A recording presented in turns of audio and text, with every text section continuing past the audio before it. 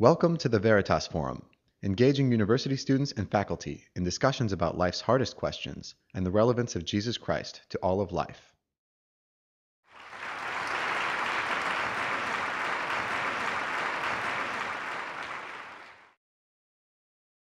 You might notice you've been lured here under false pretenses because the title I have up here is the Gospels Fact or Fiction, which I just wanted to look at a slightly narrower topic. But if you want to bring up anything about the Bible in Q&A, that's fine. Remember about Q&A, there's sometimes more Q than A, but that's okay.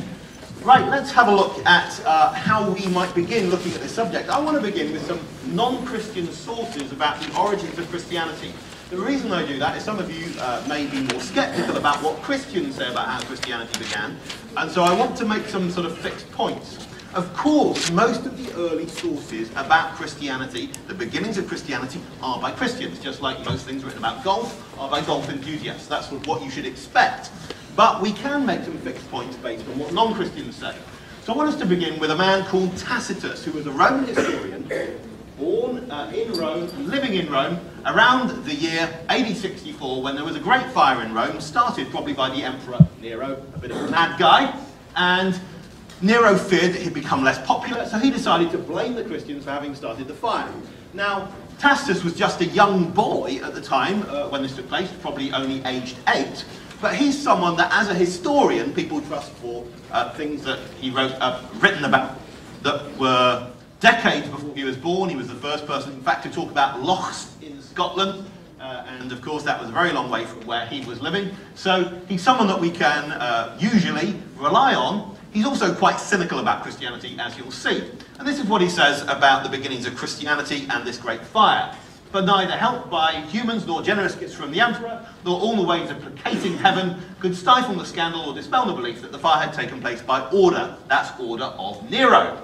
Therefore, to scotch the rumour, Nero uh, substituted as culprits and punished with the utmost refinements of cruelty a class of men loath for their vices, whom the crowd called Christians. Now we're just going to pause there and notice that the crowd calls this group of people Christians. There are three occurrences of the word Christian in the New Testament, all outside of language.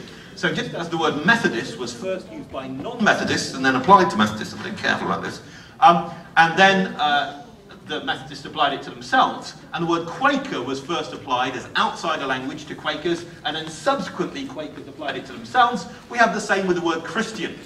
Now the word Christian implies the word Christ, which is the equivalent of the Hebrew word Messiah.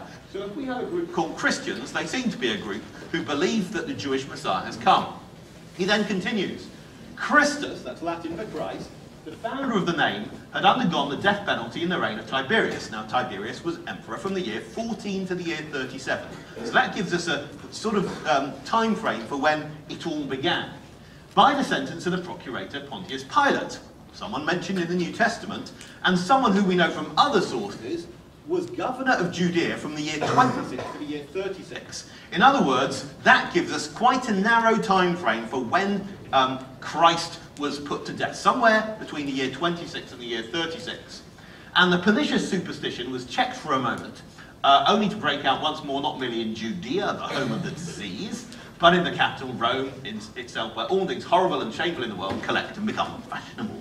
So there we have his own view of his own town. But notice that he talks about how Christianity began in Judea, uh, and that's, of course, exactly what the Christian writings say about where Christianity began.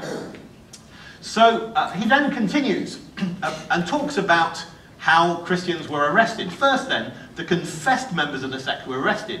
Next, on their disclosures, vast numbers were convicted, not so much on account of arson as for hatred of human race, which is something, of course, people say now about Christians today as well. And derision accompanied their end. They were covered with wild beast skins and torn to death by dogs, or they were fastened on crosses, and when daylight failed, were burned to serve as lamps by night. Now, all I want to establish at this point is some of the details you'd find in the New Testament and the fact that there were a great number of Christians in Rome. So he talks about vast numbers. Here we are, about 30 to 35 years after Christianity began. We have a very large number of Christians in Rome, and they seem to be suffering for it. Now, what we mustn't do is make an inference from martyrdom to truth. The fact that people are martyred for a belief does not mean it's true, but martyrdom does at least usually show that the belief is sincere. And the fact that such a large number of people are dying uh, for a belief and that uh, they have the belief has spread so far does at least put some limits on some versions of how Christianity began. What I mean by that is the fact that Christianity spread so far would suggest that there was some sort of Christian message in order to spread up front. Moreover, if you want to start changing the Christian message 10, 20, 30 years after it's begun, the difficulty you have is that Christians are spread so far across the Mediterranean. That means it becomes much harder to innovate. So that gives you the basics of where uh, Christianity spread from Judea to Rome. I want to take another source, this one writing about 80 years after the beginnings of Christianity. This is someone called Pliny the Younger, writing to the Emperor um, Trajan and uh, um, asking for advice as to how to deal with uh, Christians. And he talks about what he's been doing. And he says, I interrogated these people as to whether they were Christians. If they confessed, I interrogated them a second and a third time. By the way, these sources can be found anywhere on the internet. So, you know, just go and look at them and uh, you can get the Latin text as well. If they, uh, so I interrogated them a second and a third time, threatening punishment. If they persisted, I ordered them to be led off, which means led off to execution. As for those who denied that they were or ever had been Christians, when they invoked the gods in worship by me and prayed with incense and wine offerings to your statue, which I had ordered to be brought for this very purpose, along with the images of the gods, and also cursed Christ, which is said that no true Christian can ever be compelled to do, I thought this should be discharged. Well, that's very generous of him. He's a, a, a kind man, and he's only going to kill those who persist as Christians. If you renounce the faith, that's all right, you can keep your life. So he's really trying to plough that moderate course rather than just kill every Christian, I suppose. Um, one of the things he wants to do is test whether people are real Christians. I find this phrase um, which it's said that no true Christian can ever be compelled to do. A fascinating one, because here we have a non-Christian distinguishing between Christians in name only and uh, true Christians, which it must be a distinction he heard from people he interrogated, which is a fascinating idea to me, because I think it's still something very relevant today, the idea of a true Christian and one in name only. But he has a number of tests for whether someone is a Christian, and they are tests as to whether you're prepared to worship the emperor, worship the Roman gods, and so on. The logic of these tests is, of course, that Christians have kept up with that Jewish belief. Jews only worship one God.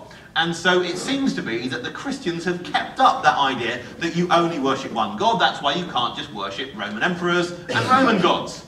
Romans, of course, on the other hand, when you ask how many gods do Romans have, the answer is many. Uh, there isn't quite a, a, limit. You know, the way the Greeks and the Romans worked was rather like Percy Jackson. You know, Zeus or Jupiter can look down from the sky, uh, see a pretty girl, get together with her, and you get another half god. So the numbers can just keep on going up. On the other hand, for Jews, there's a mathematical limit on the number of gods you can have. You can only have one.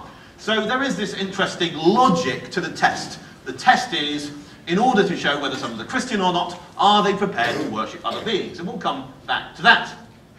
He then talks about a dossier which denounced some people as Christians. Others named in the document said that they were Christians, but later denied it, saying that they had been.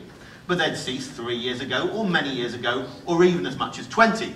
Now here, the governor uh, of uh, northwest Turkey, who's writing, Pliny, was governor sometime between the year 111 and 113. So we could split the difference and say it's the year 112. Now he's writing about what people tell him who had renounced the Christian faith. These people tell him about what went on in Christian meetings before they renounced the Christian faith. And here they describe meetings as they were three years ago, or many years ago, or even as much as 20. Now, if I take 20 from 112, I get back to somewhere in the first century, don't I? And so I think what we have here is a description of what went on in first century Christian meetings as given by people who had renounced the Christian faith. And this is what they said. They said that this had been the full extent of their guilt or error as Christians.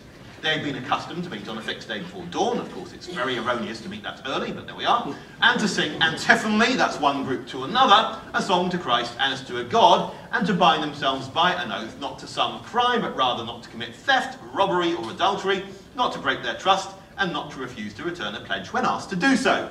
So you can see a certain emphasis on what the Christians are on about, and this is, remember, the governor of northwest Turkey writing to the emperor in Rome about Christians and describing this is the content of their meetings. A great emphasis on truth. Now, of course, an emphasis on truth does not prevent lies from spreading within an organisation, but it does um, actually work against lies. So we know organisations that emphasise truth but have lies within them, but I would say at least it does um, uh, mitigate, uh, uh, militate against uh, having lies. The interesting thing for he, me here is that they sing a song to Christ and to a God. Now this is a text written in Latin. Is anyone here studying Latin? Okay, I've got a few people studying Latin. Wonderful. Okay, a simple question for those studying Latin. What is the Latin word for a? Ah, the indefinite article. It doesn't exist. Perfect, madam. That's exactly the right answer. There is none. In other words, whether the phrase quasi deo, as if to a god, as to a god, singing Christ quasi deo, is to a god or to God, we can't actually say on the basis of the Latin. But what we can say is there's a very interesting logic, because we've already seen that Christians are, can be identified by their unwillingness to worship Roman gods. In fact, they're unwilling to worship the emperor because it seems they've inherited that Jewish idea, because the word Christian is an inherently Jewish idea. It's Christ is to do with Messiah, so that's, that's the idea. But we see that the logic of it is you don't worship other beings, and here they are singing to Christ, treating him as divine. Now, I'd want to suggest that this tells us something rather interesting. The way some people would suggest that Jesus came to be viewed as God is rather the Dan Brown method. Dan Brown suggests that after about three centuries, um, uh, through political power and the Ro uh, Roman Emperor Constantine having been converted to Christianity, they sort of upgraded Jesus from a human to a god. Another way that some people view it is really that at first, Jesus was a very special human, viewed as a very special human. Then he was viewed as a very, very special human. Then a very, very, very special human. And then halfway to God, three quarters of the way to God, and eventually all the way. The problem about that is really there isn't a developmental pathway which doesn't break the Jewish mathematical rule that you only ever have one God at a time. That means you cannot have one and a half gods. In fact, one of the things we know about God is he is the only one you worship. One of the Ten Commandments says God is the only one you could worship. So it's quite basic for Jews and anyone following on from the idea of Judaism that you only have one God. And so if they are worshipping Christ, it seems that somehow they've begun to identify Christ as the Jewish God. That's what's actually gone on. And that's quite a striking idea that we have. So it hasn't come as a very late development. In fact, it's attested fairly early in a non-Christian source. He then talks about how many people of every age and of every rank and of both sexes are being and will be called to trial. Nor is it only the cities that are, affected, but the disease of this superstition is also reaching villages and farmsteads. He says, optimistically, it seems possible to check and correct this. It's pretty well agreed that the temples, which had almost become deserted, have now begun to be frequented again. And all the sacred rites, which had been neglected for a long time, are recommencing, and the flesh for sacrificial rites is being sold, for which up to now it was hard to find a purchaser. So here we have the governor of northwest Turkey saying that so many people in his area have become Christians that it's the, the temples are almost deserted and it's hard to find people to buy sacrificial meat. So you can check that out on the web. But I think it's a rather striking claim because the, far, um, the faster Christianity spreads, the harder it is to have a huge amount made up at a later stage. I think it's a bit like changing a PR campaign halfway through. Also, he seems to suggest it's rather difficult being a Christian. So uh, that's where our second friend, uh, Pliny, is based. I want to come to a third non-Christian source. The first two we've looked at are Gentiles, Roman writers. This one is a Jewish writer writing in Greek, the first two were in Latin. And here we have uh, talk about what happened in a power vacuum when in AD 61 or 62, the um, governor of Judea, there was no governor of Judea, and so the high priest, the Jewish high priest, decided to uh, seize control, and this is what happened. He, that's Ananus, the Jewish high priest, assembled a Sanhedrin of judges and brought before it the brother of Jesus, who was called Christ, whose name was James. and some others, and when he had made an accusation against them as breakers of the law, he handed them over to be stoned. So the people who are dying for the, their Christian belief are not just people who are hundreds of miles away, also very people very close up. According to early Christian sources, James, the brother of Jesus, was a leader in the early church. And I do think it's a rather striking thing. Um, I don't think I could get my brothers to die for religious belief in me. Uh, they might, well, you know, die to look after me, but not for that sort of thing. So I think that's a rather striking uh, detail. And basically we find that the agreement between non-Christian sources and Christian sources is that Christianity spread far and fast and it was rather difficult being a Christian. So much for the non-Christian sources. I now want to come on to Christian writings, but let's begin with uh, looking at how we would know whether these texts are reliable. Well, one of the things that we can do is we can ask whether the Christian writings, particularly the Gospels, know the time and place they're writing about. So this is my very first time in UNC, absolutely delighted to be with you, but there are certain things I didn't know before coming here about your culture and about the way things are done and your, you know, that your fire engines would be like blue and so on. Uh, there, there, there, are things that I just wouldn't know. Uh, and what happens if you start writing a story about a place that you've never been is that you very easily come um, a cropper, you uh, make all sorts of elementary mistakes. So we can start asking, when we look at the gospel writers, do they know the shape of buildings? Do they know the plants that are growing? Do they know the social stratification? And so on. Let's uh, look at how we can uh, test this out by looking at what people were called.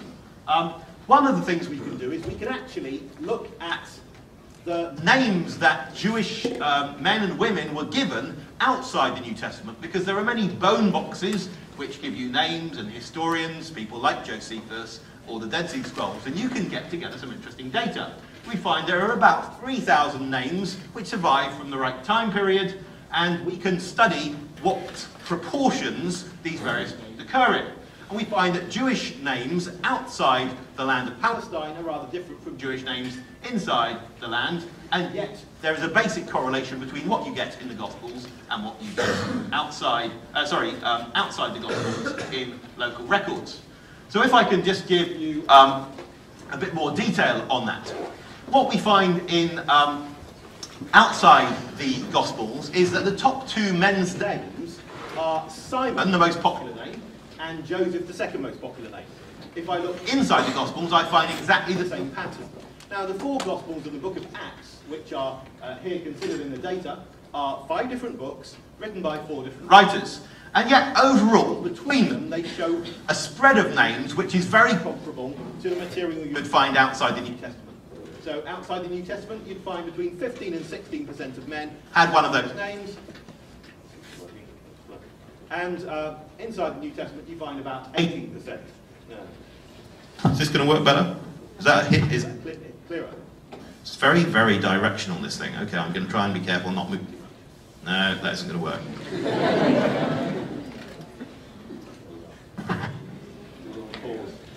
Is it okay when it's not pointed towards Let's go to the hand. Yeah, okay. Right, good evening everyone. Is this on? Can you hear me? Can you hear me? Yes, you can. Great.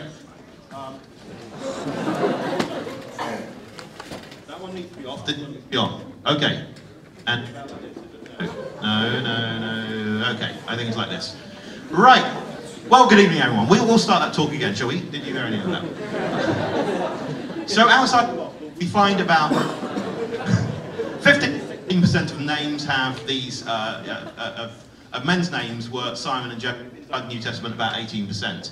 Outside the Gospels, about 41% of men had the top nine names. Inside the Gospels, about 40%. Now, the interesting thing about that is that we're dealing with data that's a lot, lot closer. I mean, we've got a larger data sample. And we find that as the data sample gets larger, the statistics between outside the Gospels and inside the Gospels gets much closer. With women, there's a little bit less imagination about what to call people, I'm afraid. Uh, so we find that most popular woman's name outside Mary, and also inside the Gospels. About 29% of women outside the Gospels were called Mary or Salome. Inside the Gospels, about 39%. And about half of women had one of those two names. And there's a squidge on my slide. Sorry about that. But when we consider the names that people had inside the Gospels, and we consider them relative to the data from the land, we find that names inside the Gospels are rather different from uh, the names that we'd have if we went down to Egypt. There are many Jewish men in Egypt, and they generally have different names from Jewish men in Palestine. And I find that that's a rather striking thing. Oh, this isn't working very well, is it? But there we are. Um, well, no one's going to rescue me. I will just blunder on. Um, so, we have, when we look at, in Jewish men in Egypt, we find some rather popular names like Sabbataius, or Dositheus, or Pappus, or Ptolemaeus. We find those as the really popular names. Whereas inside uh, Palestine, we find that they were rather different names indeed. So we can say that there's a striking correlation between what you get in the Gospels and what you get outside the Gospels. Now, our friend, uh, many of you will know, uh, Bart Ehrman, uh, suggests that uh, Gospels were probably written outside of Palestine. So I find it interesting that they are giving the right sort of names for people inside Palestine. And there's a little bit more to it. You see, if Simon is the most popular name, you call out Simon and it becomes deeply ambiguous because there are so many Simons around. So what you find the gospel doing is not only using the right names, but using disambiguators in the right places. Let me explain. Because there are so many Simons, when there is a Simon, you often need to distinguish one Simon from another by adding something. You might give the father's name, where they come from, the job they do. Something about that. And so we find Jesus has 12 disciples, two of whom have the name Simon. One is called Simon Peter, or Simon Cephas. The other is called Simon the Zealot, or Simon the Canaanite, who carries Jesus Jesus' cross in the Gospels, he's described as Simon of Cyrene. In the book of Acts, you meet someone called Simon the Tanner or leather worker. In Matthew's Gospel, you meet someone called Simon the leper, who isn't a leper because people are sitting around having a meal with him, but that um, name does distinguish him from other Simons. You find the same with Mary. Mary Magdalene, or Mary the mother of James and Joseph, would be names that you would find within the Gospels. The most common names get these disambiguators, and the other ones don't.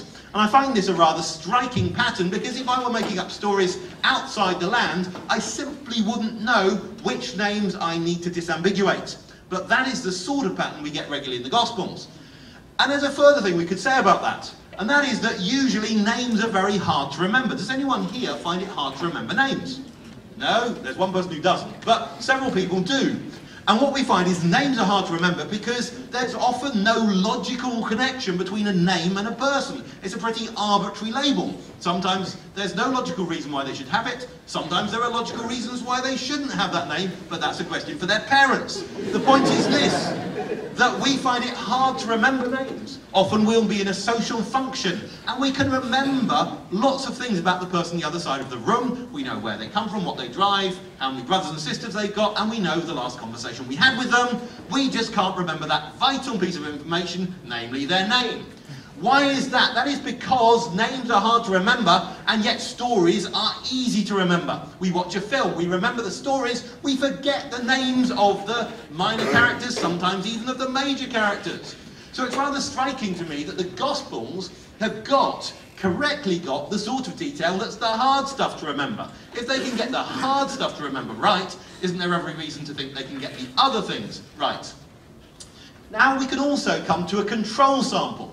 If we compare the four Gospels we have in the New Testament with apocryphal Gospels, which some conspiracy theorists would want to tell us are very important, one of the things we find is that they really do not do very well at all on popular names, giving the right names for the time and place. There's something called the Gospel of Mary, and the big question we don't even know is which Mary is this supposed to be? That was the most popular of all women's names. Is it Mary Magdalene, Mary the mother of Jesus? Who knows?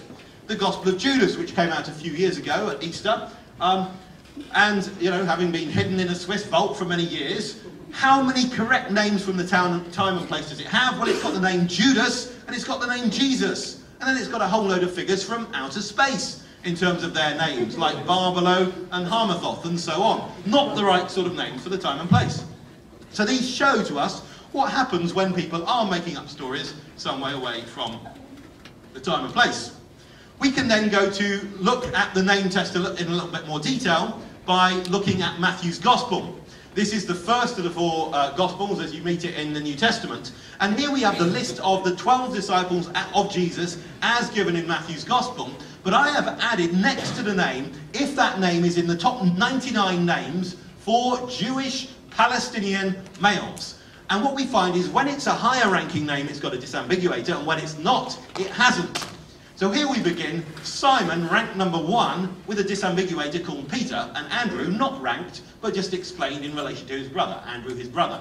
James ranked number 11, high ranking, the son of Zebedee, and John his brother. Then we have two low ranking names, Philip and Bartholomew, 61st and 50th equal respectively. Thomas not even on the charts. And none of those have disambiguators. Then we have Matthew, who's high ranking and called the tax collector. James, high ranking, the son of Alphaeus. Thaddeus, low ranking, 39th equal, and no disambiguator. And Simon, high ranking, called the Cananean. And Judas, high ranking, called Iscariot, who also betrayed him. Now, I know there are other things going on in that list, but the striking thing for me is a correlation between whether there is a disambiguator on the name and name data that have only been known for the last 15 years. That to me is a very striking thing because it suggests to me that this list is a list that actually was formed in the land. If you had been writing away from the land and simply making up a list uh, of Jesus' disciples, why would you bother having disambiguators which would not be needed away from the land? We can find even conversations in the Gospels recorded in a rather striking way. Take the name John. John was a very common name. It was the fifth most common name. Which means when you have someone like John the Baptist, the reason he's called the Baptist is not just because he baptizes people, but also to distinguish him from lots of other Johns. Now, there's a, a, figure called Herod in the Gospels who believes that Jesus might be John the Baptist come back from the dead. He happened to have beheaded John the Baptist, and so we have a flashback in Matthew chapter 14, and Herod says, when he hears of Jesus, he says to his servants, This is John the Baptist. Now, it's striking that he says John the Baptist because he can't just say to his servants, This is John, because his servants might just have asked, Which John? We've got several Johns working in the palace at the moment. Which one do you mean? So he says this is John the Baptist. He speaks as a character in that time and place would have had to have spoken. However, the narrator simply speaks about John plainly, because when you're reading through the narrative, it's very clear which person you're talking about. However, Herodias' daughter, who wants to have John the Baptist's head, uh, doesn't just say, give me the head of John, she might have got the head of the wrong John. So she says, give me the head of John the Baptist. But then in the very next verse, we read that he, that's Herod, went and beheaded John. So in other words, the characters in the narrative speak in exactly the sort of way that someone in that particular land would have had to have spoken at that time, but not how someone would have had to have spoken outside the land. Now, this does not mean that I can prove that these are the exact words that people say, but I can say it's a pattern which is consistent with having a knowledge of exactly how people do speak in that land. You might want to say it's a very clever narrator who's distinguishing between characters in the narrative and the narrative itself. Fine. But let's say that the cleverer we allow the narrator to be, the harder it is to say that they got the story wrong through basic incompetence. We can also say that the same pattern occurs about the name Jesus, and I'm rather pleased with this because I discovered it. Um, and uh, it's a fairly, you know, to discover something fairly basic about the Gospels that no one seems to have noticed for about 2,000 years, I was quite pleased with myself. But you can go home and check this, and basically this is the pattern. Well, let's start with how many words there are per Gospel. Um, it seems that Luke is the longest Gospel and Mark is the shortest Gospel of Matthew, Mark, Luke, and John. You can find them anywhere on the internet or even in a Bible if you look. Um, you can then say, well, how many times is Jesus mentioned in each gospel? We find John has the most mention of Jesus and Mark uh, the fewest mentions. That doesn't mean, of course, that uh, John is more about Jesus than the other ones. But we can say, but of course, Mark is the shortest. So why don't we look at mentions of Jesus per thousand words, and we find that Luke has the fewest, not because he's less about Jesus, but because he's more inclined to say, he did this, he did that, he did the other. It's his narrative style. Now that's just in order to show you uh, that these four different authors, and everyone from skeptic to believer believes that they're four different authors, um, these four different authors use the name Jesus differently. Now I'm going to show you how I discovered that they use Jesus, the name Jesus, in the same way.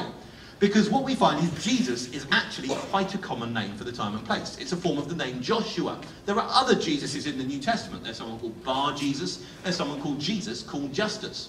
So what happens is if you were just saying Jesus is walking down the street, the question at the time of Jesus' ministry would be, which Jesus are you talking about? So what we find is that normally in a narrative in the Gospels, you just talk about Jesus. And if you've got to Matthew chapter 21 and don't know which Jesus you're reading about, you need to start reading it again and pay more attention.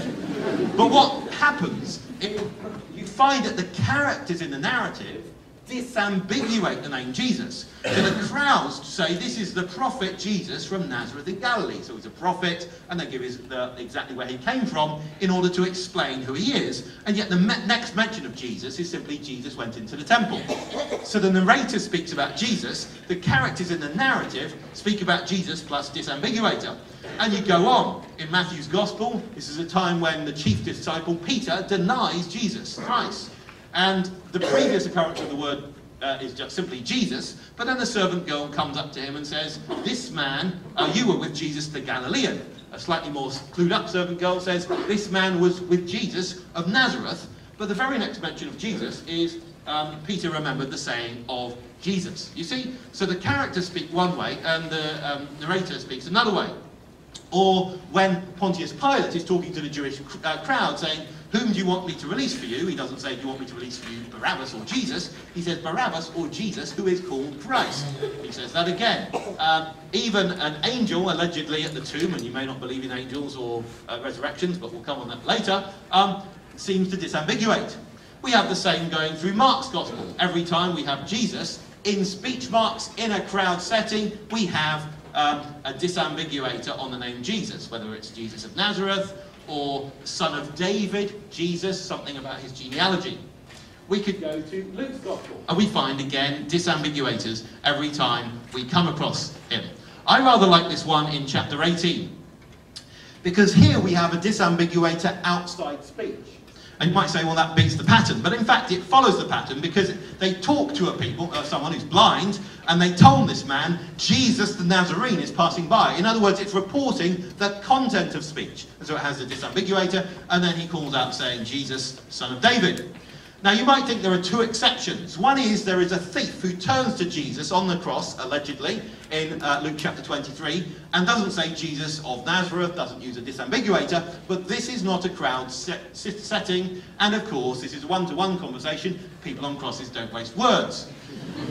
Allegedly, Jesus appears to a couple of disciples after his death, resurrected. They're walking along the road, and uh, they say to him, have you heard the things that are going on? And he says, what things? Because they haven't yet recognized him. And he says, the thing, uh, they say the things concerning Jesus of Nazareth.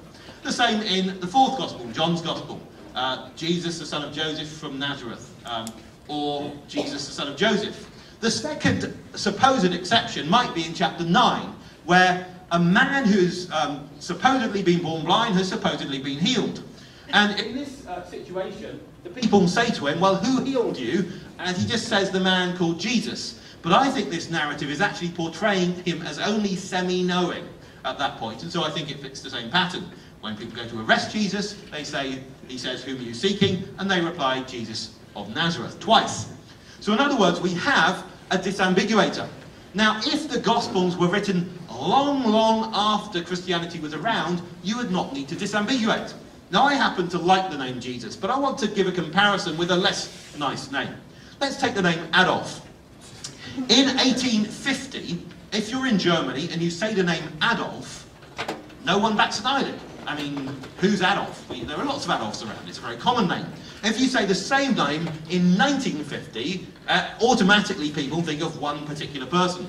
Now, I think you'd have the same thing as Christianity arises. As Christianity spreads far and fast, Christianity was spread all around the Mediterranean, as we saw earlier, that when you talk about Jesus, automatically people are thinking about one particular Jesus. So the fact that the Gospels disambiguate at this point suggests to me that they're rather concerned, um, it's the sort of pattern you would get when people are recording very early speech.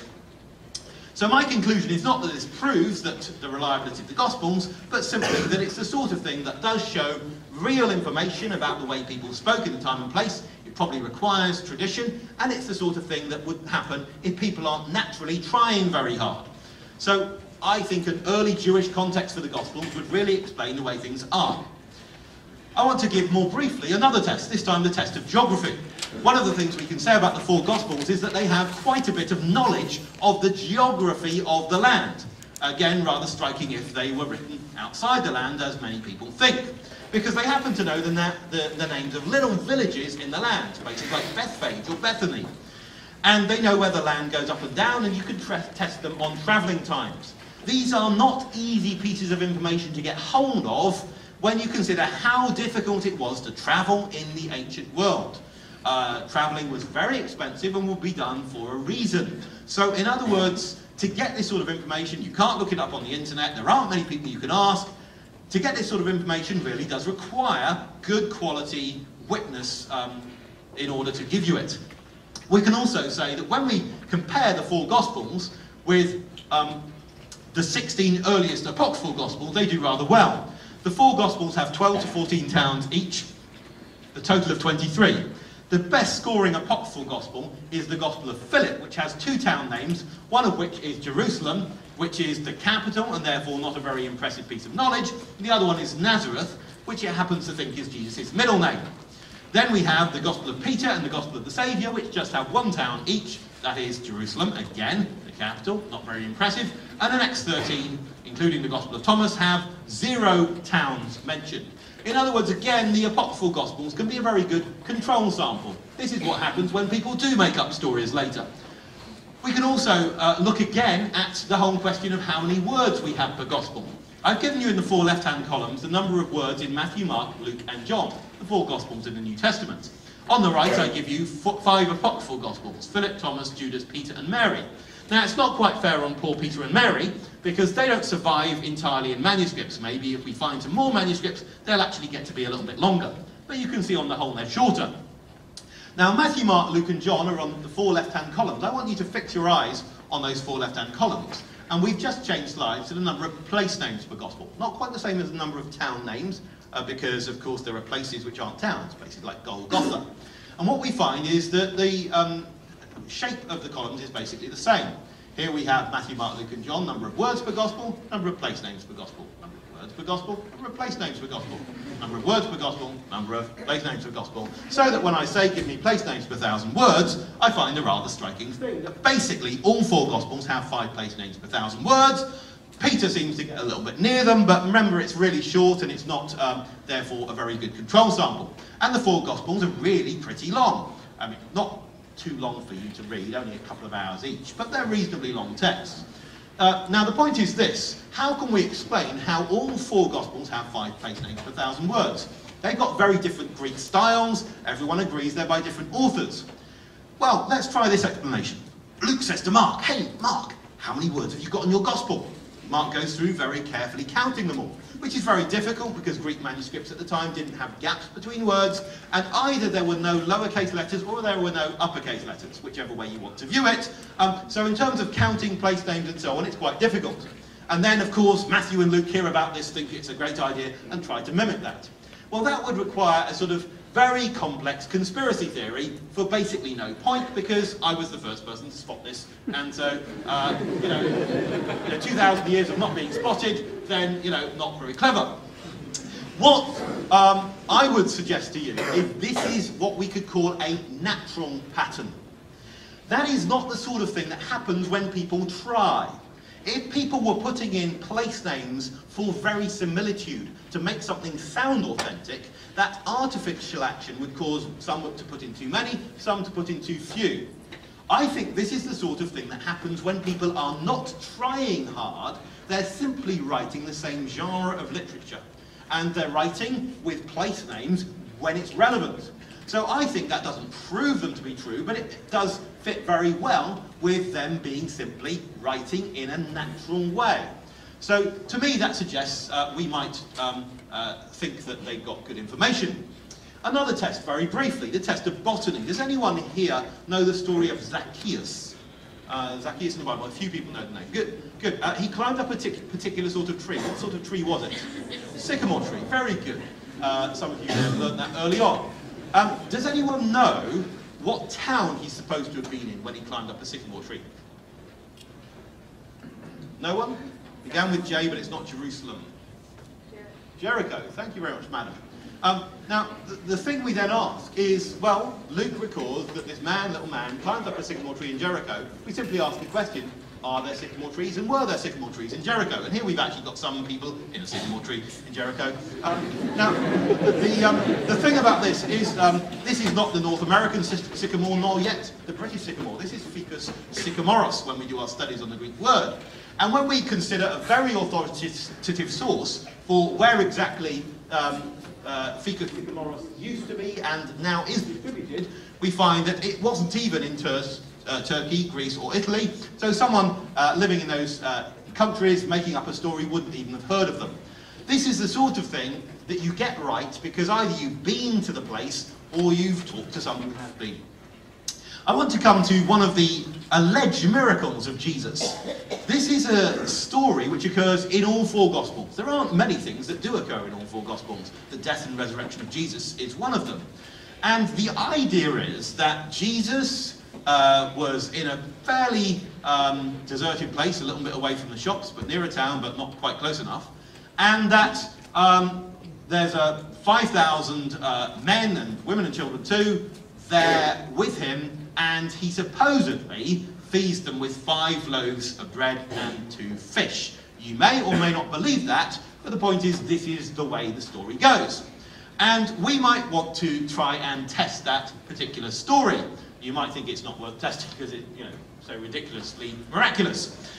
We might start with looking at the numbers. I mean, when you talk about 5,000 people, how would they know there's 5,000?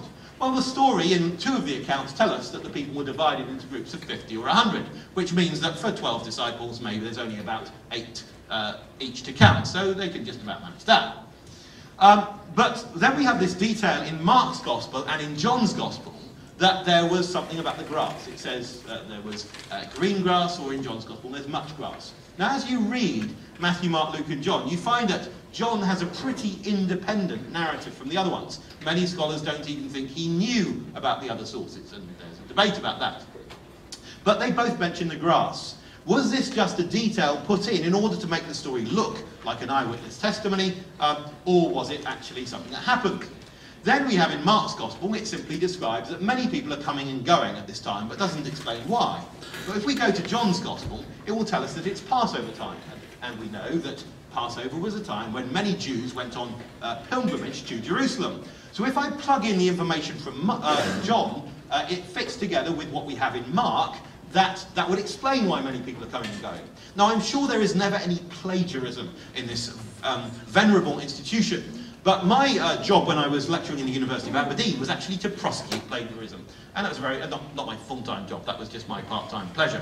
Uh, um, and, uh, you know, I was very mean and always made sure the meetings were first time and first thing in the morning and people would come dressed up in suits with ties and all sorts of things to try and um, impress. But what I found in that particular setting is that there's sometimes a ring of truth about people's story. There were sometimes innocent people. And what you found is that there were details that they couldn't possibly know about in their story that fitted with something that you independently knew. This is the sort of thing you sometimes get in the Gospels. And I think that's the sort of thing we get between Mark and John here. Uh, if you want to say that Mark or John wrote that detail in in order to make it fit with the other one, the problem is it fits in such a subtle way that the danger is you wouldn't even notice it. Then we find that in John's Gospel, Philip, uh, uh, Jesus asked one of his disciples, called Philip, where to buy bread from, and then also in John's Gospel, Philip and another disciple, Andrew, get involved in the reply. Now, why does Jesus turn to that particular disciple? If we go to Luke's Gospel, who doesn't tell us about that conversation, Luke tells us that the feeding took place near Bethsaida. Again, I see no significance. But if I go back to the beginning of John's Gospel, I find out that Philip and Andrew were from Bethsaida. Now that's a rather striking thing because if I read through John's Gospel on its own, I see absolutely no significance to why Jesus turned to this particular disciple. However, if I plug in information from Luke's Gospel, suddenly I see a more coherent story. That Jesus turned to a man with local knowledge and asked him where to buy bread from, and that man, along with another man with local knowledge, gets involved in the reply. We could even say the detail in John's Gospel that the little boy provided barley loaves fits exactly with when you just had Passover because you've just had the barley harvest. But then I asked myself the question, would the grass really have been green? So I decided to get a precipitation chart from a nearby town and plug in when Passover any of the um, 10 possible years uh, between 26 and 36 And what we find is basically you've had six of the greatest months of precipitation leading up to this point. So with the grass being green, you bet. Now, does this mean that I can show that a miracle took place? Of course I cannot. I cannot prove that miracles took place. By the way, you do know you cannot prove anything important in life. Absolutely nothing. Because um, science and maths and, uh, and formal logic may deal with proof, But what you cannot do is prove a value. Values just can't be proven. You can't prove that anyone loves you. And that seems quite important for most of us, that someone does actually love us. Um, you know, I can't prove that my mother loves me, but I am deeply convinced of it. You cannot prove that life has a value in terms of, in a way, you can't prove that science is valuable using science. There's no scientific experiment you can do. So in other words, we have values all the time. This is why I like to say either all of us are religious or none of us are religious. I don't mind which, but, but just for sort of legal reasons, we ought to declare a sort of um, an equal playing ground for everyone. Everyone's either, yeah, everyone's got values to their life that they can't prove. And if you say, I don't have any values, I just think you haven't yet realised you've got values, and it's always good to think about what values you have and why you have them. But what we find uh, is that I cannot prove a miracle. But what I can say is this, the account that many people give of miracles. The idea that miracle stories about Jesus grew up because they were being told uh, in a telephone game. This is one actual analogy that um, uh, Professor Ehrman has, has, used, sometimes talking about how stories were told fifth or sixth or nineteenth hand, as he mentioned uh, in one of his books. Um, what we can say is actually that's not a good explanation for how a story like this arises. Because if stories arise through lack of care, one thing we know about lack of attention to detail is that lack of attention to detail in one area spills over to lack of attention to detail in another. So there isn't really a plausible mechanism in order to have miracle stories arise through lack of attention to detail and lack of care in how you tell on the story, and yet the surrounding cultural details, the fine details, to be preserved intact. So when I consider the Gospels as a whole, I would like to suggest, although I can't prove uh, things to be historical, that the evidence is thoroughly consistent with uh, trusting them. I would also want to say that we need to distinguish between what we can do in history as an academic discipline and the whole question of trust generally in life. What I mean by this is history as an academic discipline can sometimes be a bit like a hedge fund. You know, a hedge fund is set up so that the hedge fund manager doesn't lose. You, you win either way. Basically, with much academic history, you can not lose if you're somewhat skeptical towards things. Um, you lose more reputation for denying something that is true than for um, affirming something that's false. I can give you an analogy for this. There were a couple of Oxford scholars, one of whom affirmed that the Hitler diaries were genuine when they weren't. That is, you go to his Wikipedia page, you think of the profile he's now remembered as, and everyone remembers him as the person who made the terrible blunder, even though he did use some cautious language as he did. There was another Oxford scholar, uh, uh, Sir Godfrey Driver, who when the Dead Sea Scrolls came out, first said they cannot possibly be true. Then he retracted it. But no one really remembers that. It's simply a little blot, uh, but it's a minor detail. People don't really remember him for that mistake. So what we find is that's history, but that's not actually the way we live our lives. The way we live our lives is we are constantly trusting. We can't not trust. And sometimes we're prepared to make some rather substantial um, decisions based on limited evidence. What I mean by this is if I suddenly get a cell phone call from a voice I've never heard before who says, This is the police, your child has just been in a ter terrible accident, I want you to come. Well, I might drop whatever I'm doing in order to go. I think I would. Um, I, I, may not be able to verify that police person's uh, voice. There may be very little way of actually checking up, but sometimes you need to make big decisions in that uh, spur of the moment. You might drop whatever amazing business deal you're doing and go to the, uh, the hospital you've been told to go to. Um, on basically fairly limited evidence. That's the sort of thing we regularly do um, in life. Because in life we trust. And I think that we need to distinguish between proving something, remembering we can't prove uh, even such basic things as that our memories from 10 seconds ago are correct and we're, we're not a mind in a vat. No, you can't prove that sort of thing. But what you can say is we can have very good reasons to trust things. We trust our minds, and I'd also say that we can trust testimony. And so, although I may not be able to prove a particular testimony to the standards that a history department wants to insist on for it to be accepted as part of their corroborated history, because a history department likes to have things corroborated, multiple sources. We can say that in our daily lives, we're regularly acting on something based on one single witness. We turn up in a lecture hall based on one single piece of information we've read. We don't ask for corroboration. So I think that that needs to be factored in when we consider this whole question of trust. I think if the Gospels were written on the basis of uh, stories produced several steps removed from the time and place, we wouldn't get the pattern that they have. Well, that's all I have to say. You've been extremely patient, thank you very much. And there are now, uh, there's time for questions, and our MCs are going to tell us how that's going to work. Thank you. The first question is Have you had times of disbelief and doubt? Hmm? And if so, what did you do?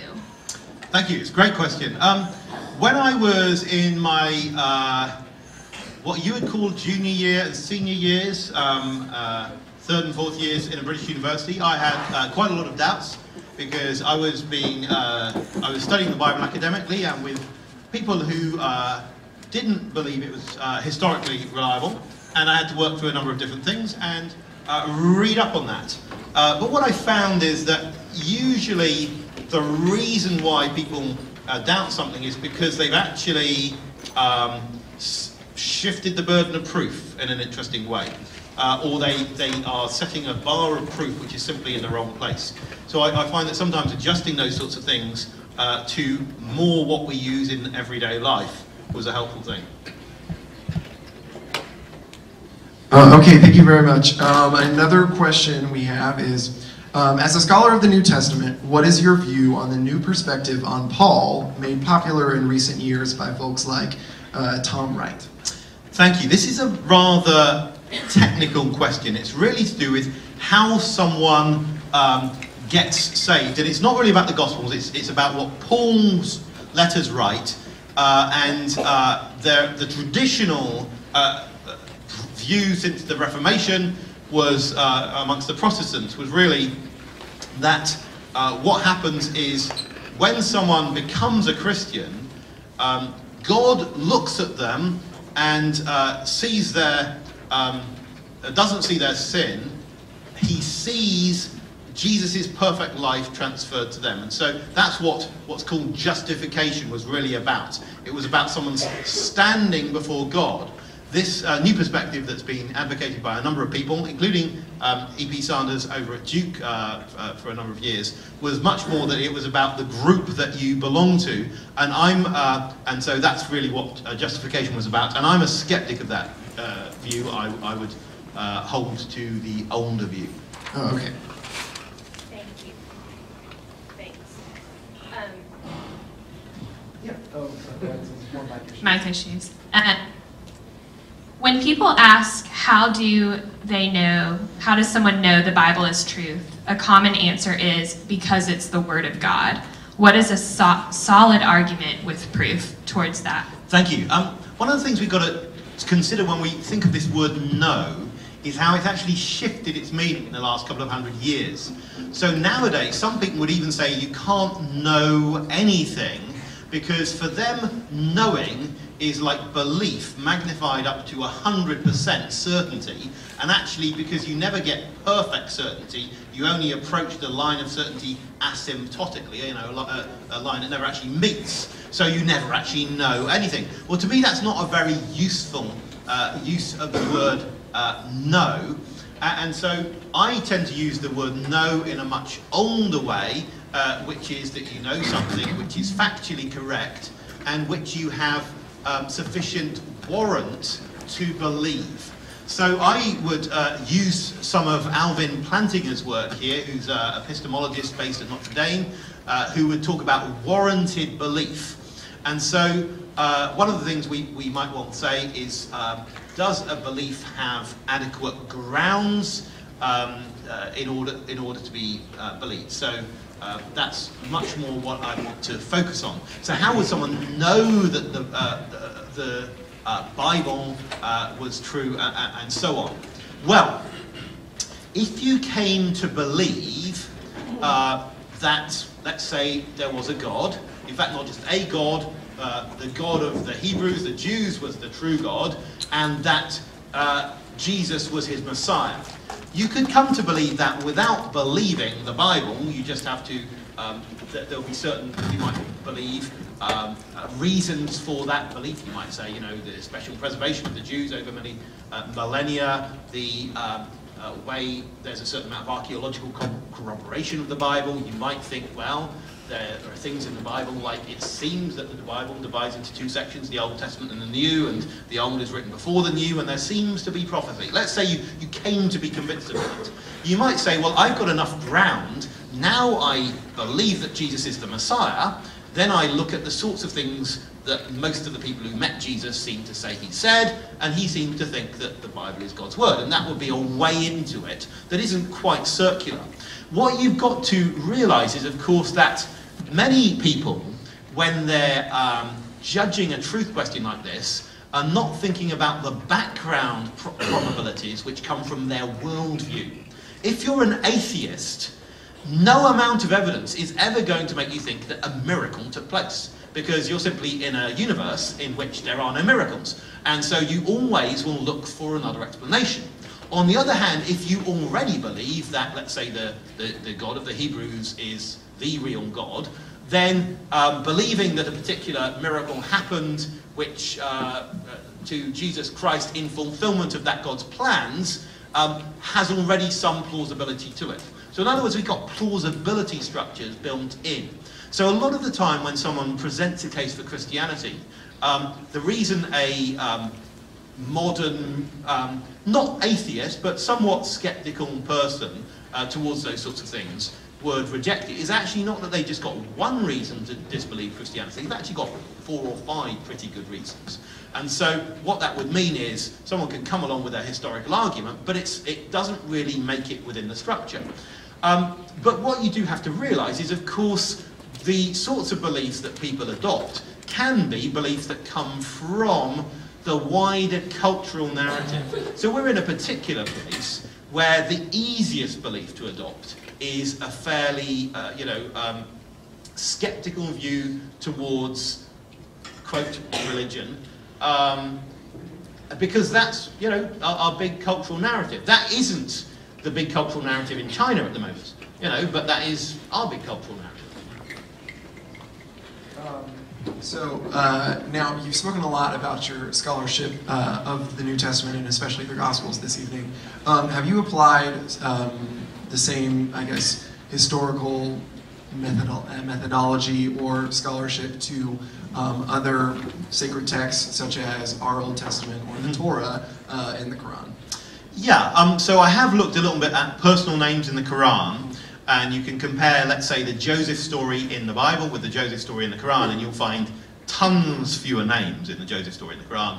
Um, and some of the Joseph story uh, names in the Bible have got some plausibility. Um, I've also looked at the big argument from personal names in the Old Testament, and you can divide them up into different stages because the Old Testament records, uh, you know, many centuries of history. And the striking thing is the first five books have no names that end in a special sort of IAH that become really common. Names like Isaiah, Jeremiah, Hezekiah are really common biblical names in a later stage, but not in the earlier stage. So we do get some stratification of biblical names in the Old Testament that fit with things we can correlate with outside the Old Testament. And what I like about that is it's a very hard thing for someone uh, in the time and place if they're writing at the end of the period to get right, to get names right from 500 or 1,000 years prior to their time. Very tricky. Easier for us now.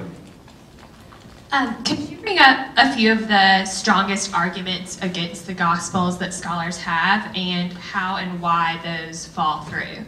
Thank you. Um, I mean, there's a great book by our, our, our local Bart Ehrman called Jesus Interrupted, uh, which you may have come across, which has got a, a, really nice chapter in the middle where he puts uh, some of the best uh, alleged contradictions in the Gospels. I can't remember which chapter it is, but it's a reasonably substantial chapter. And I think he's got a really good selection uh, in there.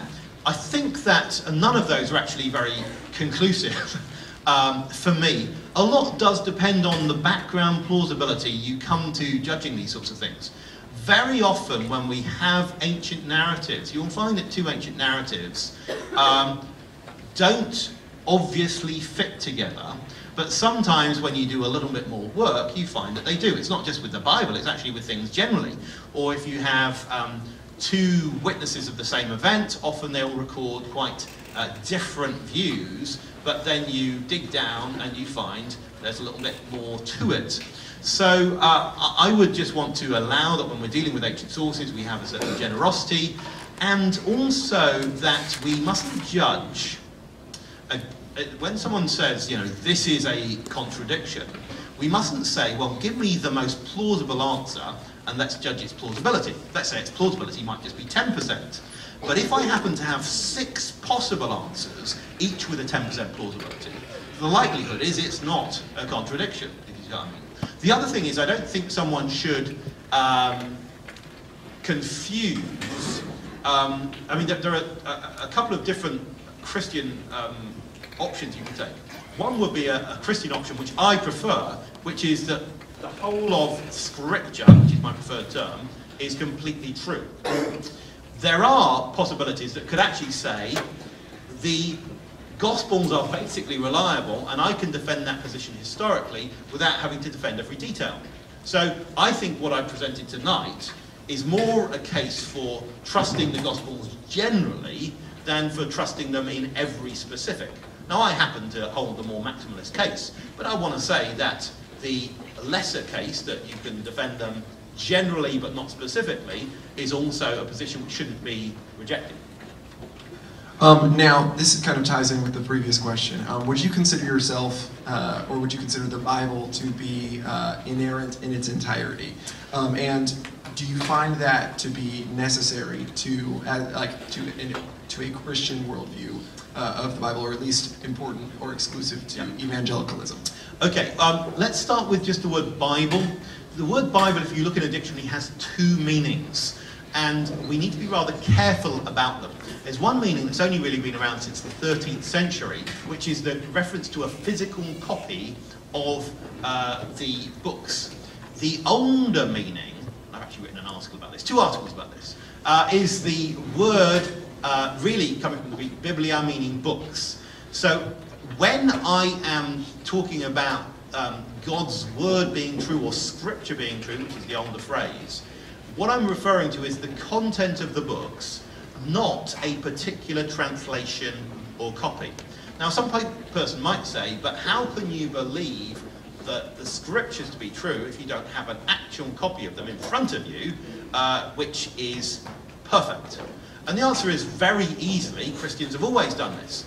Before the time of printing, every single copy was made by hand and every single copy had errors. So you could talk to a monk in the 12th century and you could say, well, is the Bible true and are the scriptures true? And they would say, yes. Um, and is every, you know, can you show me a copy in your monastery which doesn't have a single copying error in? And the answer would be, well, of course I can't. Uh, now, the actual translations we now have are better than any that there were in the Middle Ages because we don't go through the Middle Ages, we go back beyond to the earliest copies that now survive. Um, so it seems to me that the proposition that God speaks in books and gives words that get, then get copied down and that those words are entirely true uh, is something which is very defensible. Uh, but that to, to, defend that, I don't need to defend that every translation that everyone ever makes uh, is, is true in its entirety, because the idea of errorlessness or inerrancy is really um, a characteristic of God um, if, um, so the, the, Christian idea and the Jewish idea is that God is someone who's completely truthful and you can trust. And in order for that to work, you'd need to believe, of course, that that God never really, uh, you know, makes mistakes uh, and, and, so on. So that's really what the Christian belief is about. It's a statement about God and God leaving words that then can uh, uh be read. Um, that's not quite the same as saying, um, you know, one particular translation is perfect. Now, there is a view that says, well, I mean, one person said, if you had a glass of water with one drop of urine in, would you drink it? And the answer is probably no. Uh, depends how much someone paid. Uh, but so the idea is there that the Bible is a bit like a magic spell, a magic book. If one bit in a bit of translation is wrong, the spell doesn't work. Well, I don't think the Bible's remotely like that. I think the Bible is a very powerful uh, message. Uh, and so that if one bit in your copy isn't perfect, that doesn't mean nothing will happen. I mean, it's a bit like saying, well, I missed some of the words he said tonight in his strange accent, so therefore I'm not going to take any notice of anything he said. Well, I, would regret that if you, if you, did take that position. Um, uh, I, I, think that often we can miss something in a conversation, that's fine. So there, there can be mistranslations or misunderstandings in people's Bibles. Um, that's okay.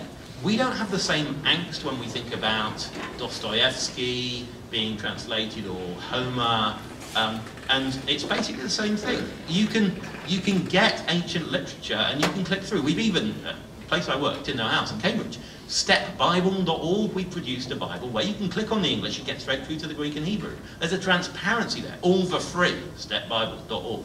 Um, and uh, soon in an act near you. And, and, the thing is there, in terms of this idea that there's a great distance between original texts and, and, and, manuscripts and what a person can see today, there really isn't. There's a, a lot of information you can get. Long answer, sorry. Kind of going off, off that a little bit more, do you contradict things, for instance, differences between story, the same story within the Gospels? Does that necessarily disprove validity? For example, what is the significance between the different accounts of Jesus' death within the Gospels? Thank you. I think we need to be slightly careful about this word contradiction.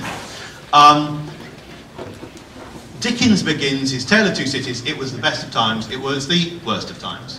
Now that formally is a contradiction. Most of us, although we may not have made it to the end of the book, won't have closed the book at that stage uh, because we uh, uh, want, you know, we're, we're, intrigued and we want to read on and we want actually to hear further qualifications and explain how exactly that is the case. And uh, a formal contradiction occurs regularly in our speech. Someone says, do you, um, you know, like such and such? And you say, well, yes and no. Do you like ice cream? Yes, I like the flavour. Do no, I don't like what it does to my body. You know, and so you can have that, maybe like both, but um, the, the point is we can do that and I think we just got to allow an ancient text like the Bible or any other ancient text, the Quran or anything like that, to have enough space. I think there's a sort of skeptical rush in, let's find all the problems that there are with it. Uh, and we've got to allow them to use words in more than one way. So really, technical vocabulary begins with Aristotle um, in the um, you know, 300s uh, BC, where he decides we're going to have one word going with one concept. Uh, and th that but before then, there wasn't really that notion. And even after then, it didn't kick in for a long time. And if you still use that today, you can have a vast vocabulary. So in order to uh, lower your vocabulary and just speak in a simpler way, we use words with multiple values. And guess what? Bible writers do the same. Are they allowed to do that? So, you know, sometimes I think some writers, even like John, deliberately use contradictions in order to make you think further. So John, John's Gospel will have Jesus saying he wasn't sent into the world to judge it, and then he'll say in the same Gospel, for judgment I was sent into the world. You know, and you get a whole list of those sorts of things. Um, and when you read through John's Gospel, you actually, as you read the literature uh, more carefully, you begin to think, ah, he's getting me to think more deeply about the message. So I just think that sometimes um, people infer from a formal contradiction to there can be no underlying truth. And I think that's rather uh, unfortunate. Uh, okay, um, now what is your personal view on the historicity of the creation story found uh, in the Old Testament text? Yes, thank you. I know nothing about science. I mean, virtually zero. So I really can't uh, you know, comment in detail there. What I can say is the areas that I'm able to investigate about the Bible and its history, I have found to be reliable. So I am prepared to trust in the areas that I don't know, and I, I talk to friends who do know about that sort of stuff, and they say it works out. But I don't have any specifics on that. Really, if you're interested in that area, you should probably go back to I think John Lennox spoke here a while ago. Just get anything by John Lennox, professor in Oxford, very clever guy, even though he comes from the other place. So, unfortunately, I believe it is time for us to wrap up. Before we go, I think you just gave us a good recommendation. Are there any other recommendations you have about apologetics, the Christian worldview, people seeking to know more about the reliability of the Gospels? Any reading recommendations that you might have? Uh, yeah, I mean, dep- depends, you know, what level you're at, but I'd say it doesn't take long to read the Gospels. Um, you can read the whole Bible through in 66 to 70 hours. Uh, you can probably read the Gospels in about nine or 10 hours. Uh, so not very long, uh, very worthwhile, and, and, and, you know, just uh, start um, start from there. I mean, I, I, think it's part of your intellectual growth uh, to make sure you've done that. Uh, most churches don't read the Bible anymore, so don't just get it from a church. You'll actually have to do it on your own. Maybe maybe ask someone to read it with you for fun. Have a read of it. That'd be it.